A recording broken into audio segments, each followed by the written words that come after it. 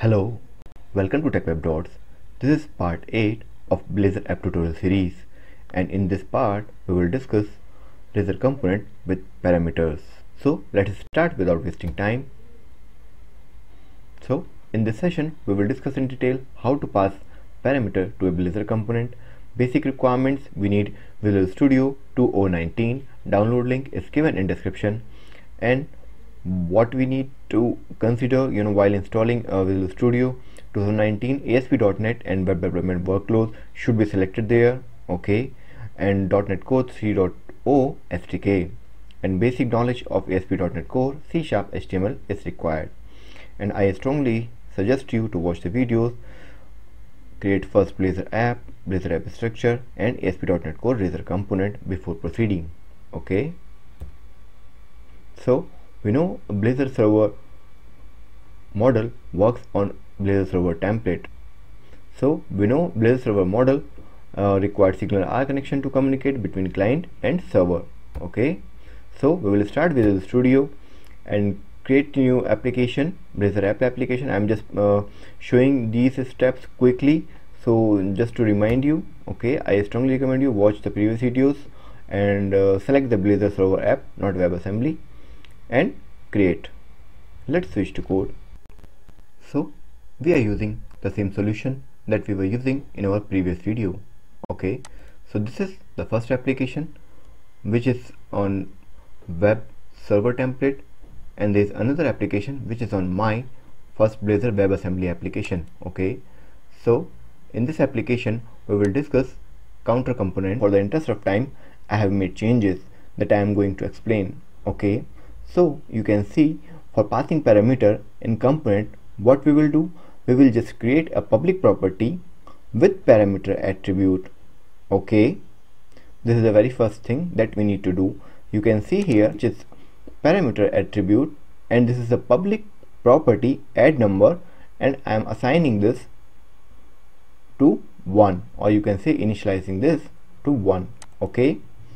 And in definition of this method what I am doing? In current count I am adding this property okay? So whatever the value will be passed to this counter component that will be added to current component and that will be displayed in current component okay? So as you can see there is a page directive and after that there is a counter route okay it means this counter component can handle all the routes which comes to counter okay? And this counter component is also available for the other components as well okay? If we will not use this counter route here at the top with page then it will not be able to serve any request okay? But it will be available to other components and that can use it internally okay? So to handle the route which comes to counter so this counter should be added at the top in this blazor component. Okay? So let's have a look in an action. And, and one more thing we also uh, okay this is the definition of uh, that. I mean we are specifying the parameter but we will call it through index component. Okay? So let me open the index component. So we are using this component in index razor component. So when our application will, will be launched so we will see this counter component on our index page.